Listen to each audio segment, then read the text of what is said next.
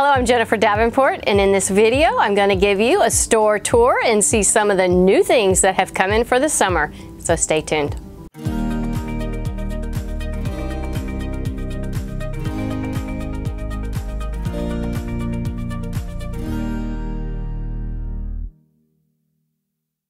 One of the first things I want to show you is one of my favorite tables. I really like things mixed in a room. This one is very industrial and super cool.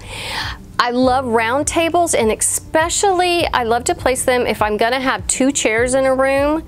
I like a round table in between them because that really helps to nestle everything together. And again, I'm probably gonna decorate in threes. If I have a lamp, then I'm probably gonna have a greenery and then some type of little figurine. I love lighting. I think it's a work of art, whether it's a lamp or whether it's a chandelier. This one just came in. This one's not online, so don't give me a hard time, but this one is beautiful with the wood beads, a white tone. I really can't think of a room that this would not look good in. One of the new things we got in was this really cool coffee table. It slides down and closes, lifts back up. So you can also use it as a table to eat when you watch TV.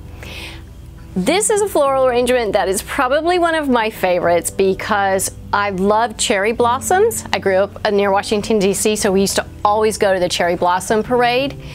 But what I wanted to show you, have a lot of you guys ask me for containers. This is one we do have online. This is a stoneware, a vintage vase, beautiful details. And when I'm choosing a vase, to make my florals. Um, I like to choose ones that are either glass, mercury glass, kind of not much color so that the highlight is the flowers. Now another thing I do around the store for everybody is I put little signs around that have design tips and this one reads, when, I don't have my glasses on, when choosing paint always compare the paint color you like up against a white piece of paper and this will show you the intensity of the color. So I try to put little notes around to help people. When we first opened the store, this was one of the very first light fixtures I chose. We have two of them above the cash wrap. Um, again, I kind of loved the rustic with the glam, but I think this pendant would look cute in a lot of different areas of your home. So here's another wreath that we got in. I love it. Daisies make me so happy. And I know last time we did a video and I showed you a wreath that sold out really quick, but hopefully that won't happen with this one. But what I love about it is it's got a twig background on it. And I'll show you a picture of what it looks like on my front door. But you could also lay it on a table and put a large candle in the middle and you have a really sweet centerpiece.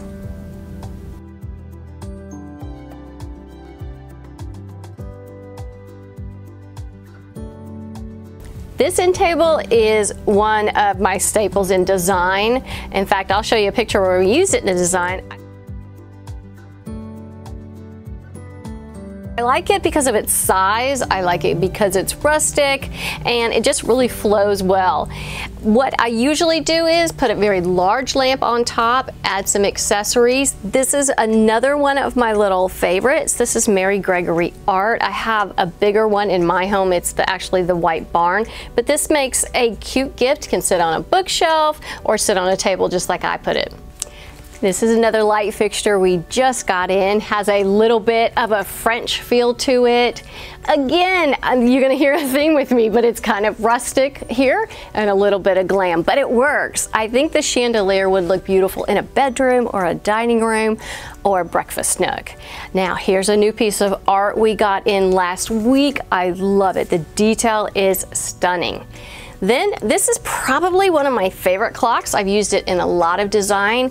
It's just neat and different and timeless. A lot of people are downsizing. Either they're empty nesters or maybe they're young couples that are starting um, an apartment and they're ready to decorate. So I chose these tables because of their size and because they nest inside of each other. So you could either always keep it under and then when you have company you have an extra table or you can use one to put by a chair in a bedroom and keep the other one by the couch. So this is our dining room section. We display things on the table. In fact, one of the things I really like to do when I, even when we first started to open the store, I didn't want to pack the store with stuff. What I wanted was to create vignettes because I wanted to help people when they come into the store, they can see a vignette, how we place chairs, what kind of table looked good with it, and they can visualize in their own mind how that would look in their home. So again, that's why we like to set the table as well. I love this is a floral I've made, but I absolutely love these concrete uh, candlesticks. They are super heavy, but I really think they make a big statement. And then, of course, if you've watched any of my videos, you know these are my very favorite dishes.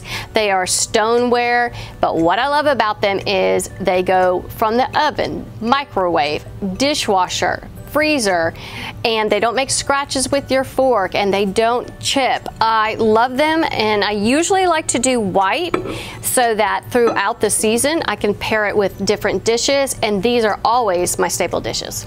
Here's another table that I love. I have it in my own house. And one of the reasons I like it, again, I guess I lean a little bit towards um, rustic, but what I like about this table is that it's a metal top and this table is so heavy. So if you've got kids or dogs running around, no worries about it getting knocked over.